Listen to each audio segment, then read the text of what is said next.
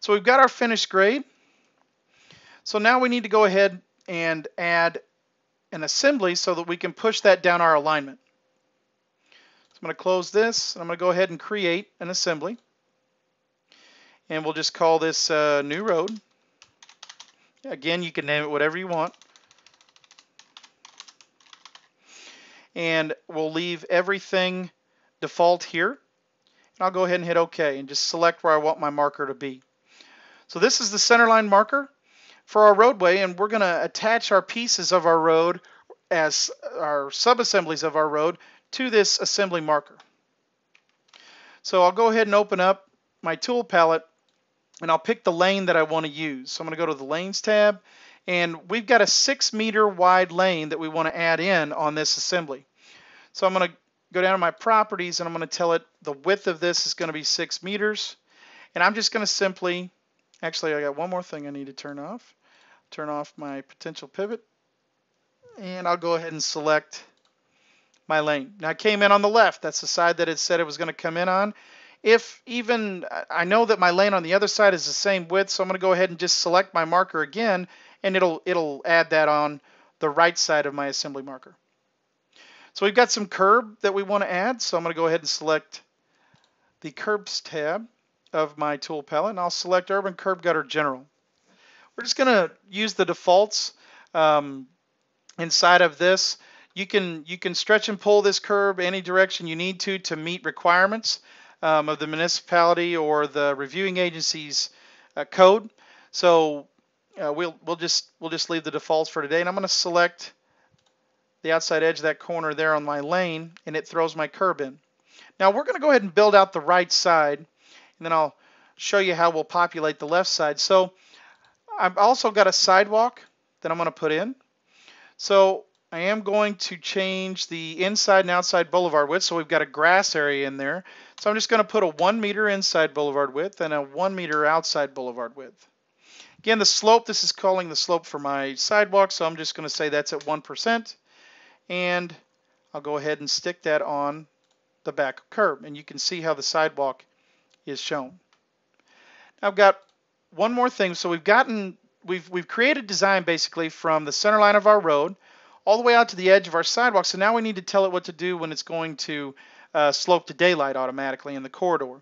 So I'm just going to pick the uh, basic side slope cut ditch assembly, uh, subassembly, and I'll tell it I want it to go three to one to start out for the cut slope and fill slope.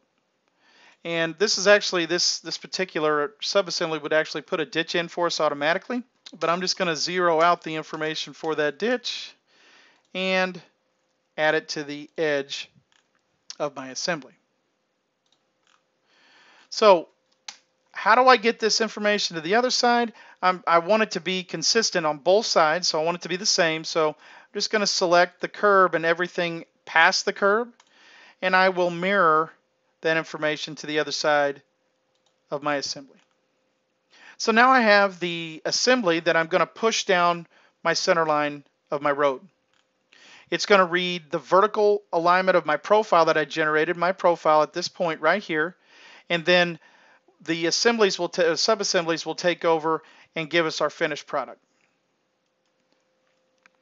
So we now have everything we need to generate a corridor. So let's go ahead and create that corridor so we can start to look at at this uh, at the vertical design and make sure that we're balancing earthwork wise, things of that nature. So I'm going to create a corridor and we'll just call this uh, new road. And we'll make sure that our alignment is selected that we need. So our, our alignment that we want it to travel down is our new road. The profile we want it to read is our finished grade. And we'll select the assembly that we just built and tell it to target our existing surveyed surface and we'll select OK. And our corridor is built.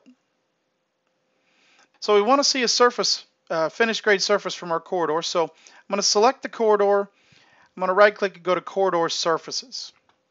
Here's where we'll tell it to generate a surface from our design. So I'm going to go ahead and tell it to create a surface.